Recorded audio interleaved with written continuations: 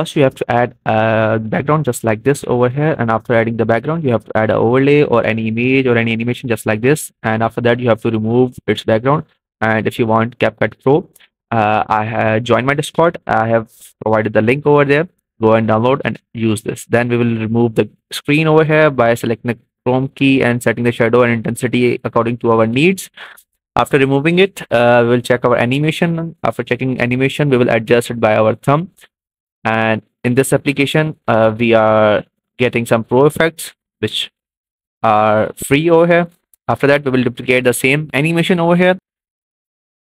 After that, what you have to do, you have to go back to video effects. You have to go into the body effect, body effects, and over here search vortex dissolve effect, just like this. And after that, set the object to this overlay and after setting the object to the solar, you have to go into the adjustments at the speed, twist into 100, horizontal up to 50, vertical to 45. Now, all these adjustment depends on how much uh, you want your aura to be. So you can also adjust the size and uh, what we can say surrounding of every aura that you have after completing this uh, what we have to do we have to change the color of it so for that we'll go into the overlay that we have added the effect then we'll go to the adjustment of it then we'll go to the graph now if you want a red color uh, aura so you have to set this the graph like this as you can see it's red, color but if you want a blue one you can set the blue like this but if you want a yellow one you can set the blue downside so you can get the yellow one now it depends on how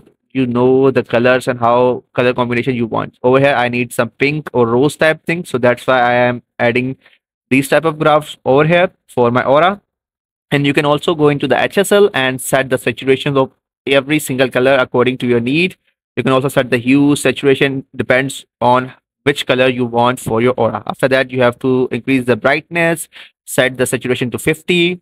Then you have to also give some highlights to it, which will be 10 to 12 after that, uh, you can see that our glow or the aura is coming very good, but we need a little bit more effect over here. So for that, we'll go to the video effects and over here, we will search JVC effects. This is free in this version. Okay, add this effect just like this and go to the adjustment. But before that, go to the object and set the object to this overlay. Then what you have to do, you have to set the uh, intensity, color and filter according to your need. Now, uh, after setting this, you can see that the aura is looking pretty, pretty much good. And we didn't need to buy Pro. So, but if you want the same, what we can the same application, you can go and join my Discord and you will get the link over there. Go and download and install that. After that you can see that after adjusting all of my uh, like ranges graphs and effects my aura is completed. Now we will just export our video and i hope you guys have learned something new. Till then we will meet in the next video and peace out